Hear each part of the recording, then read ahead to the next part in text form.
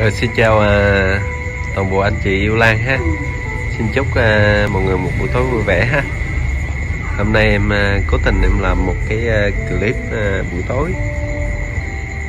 Tuy là nó không sáng nhưng mà làm clip buổi tối Để cho anh chị ngắm cái cây à, Phú Thọ Rừng Phú Thọ Cái phi điệp rừng Phú Thọ.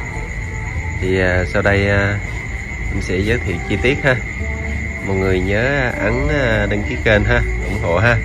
Và theo dõi những clip mới nha. Rồi. Mọi người xem này. À, hình như là đang thắt ngọn này mọi người. Đó. Đây là phú thọ à, rừng này. Rất là phê. Lá rất đã thân nù còn hai thân nha mọi người. Đó. Lá rất đã rất đẹp. Đó.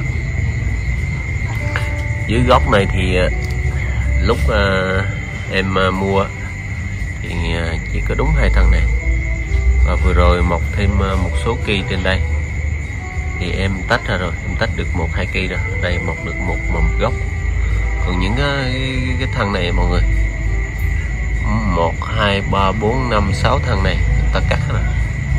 Ta cắt chắc người ta làm giống đồ gì hết rồi. Thành ra em chỉ mua được hai thân này thôi. Lúc đó em mua chừng khoảng hai gan gan mấy hai gan hai gan tay.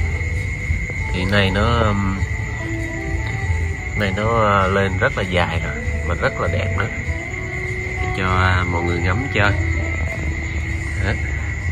Ngắm phú thọ rừng. Này như đang thắt ngọn mọi người. Đó, lá đẹp ha. Mà nó xanh sạch luôn á mọi người. Em à, em em em em rọi cho mọi người xem kỹ nha. Đó. Xanh sạch luôn á. Mọi người thấy xanh sạch không có ngắn cổ lá gì đâu một có sọc luôn em đang chờ mặt kho thử à, nó đẹp cỡ nào rồi à, chắc qua năm là làm cây chia sẻ anh em chơi. À, hy vọng là nó sẽ ra một cái mặt kho rất là đẹp. À.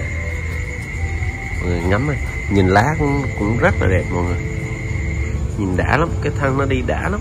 Đó. Đó.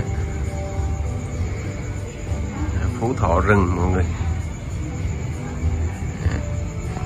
Đang chờ mặt kho.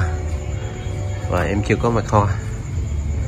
Em mới có được à, một cây làm giống thôi một cây à, một cái cây à, mầm con thôi. Còn lại là chưa. Chưa có hoa. Tối lắm ha mọi người ha? Nhìn cũng không không rõ lắm nhưng mà ừ, thôi. Lâu lâu mình quay buổi tối thôi xem nó thế nào. Rồi ok. Xin chúc uh, mọi người một buổi tối vui vẻ ha mọi người nhớ đăng ký kênh em em xin ờ, chào ha.